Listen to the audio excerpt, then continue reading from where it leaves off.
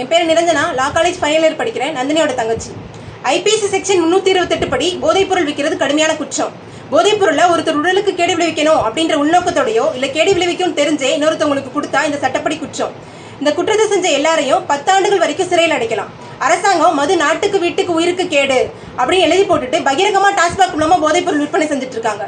அப்போ மக்களோட உடலுக்கு கேடு விளைவிக்கணும் கேடு விளைவிக்கும் தெரிஞ்சே இந்த குற்றத்தை அவங்க பண்ணிட்டு இருக்காங்க.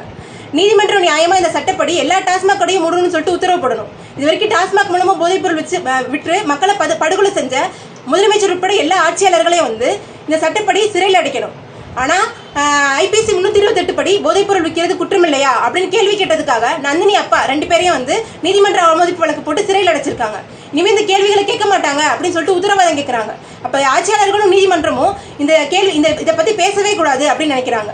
அப்போ ரெண்டு பேர் இந்த கேள்வி கேட்கறதே அவங்களுக்கு இவ்வளோ அச்சுறுத்தலாக இருக்குன்னா மக்கள் எல்லாருமே இந்த கேள்வி கண்டிப்பாக கேட்கணும்.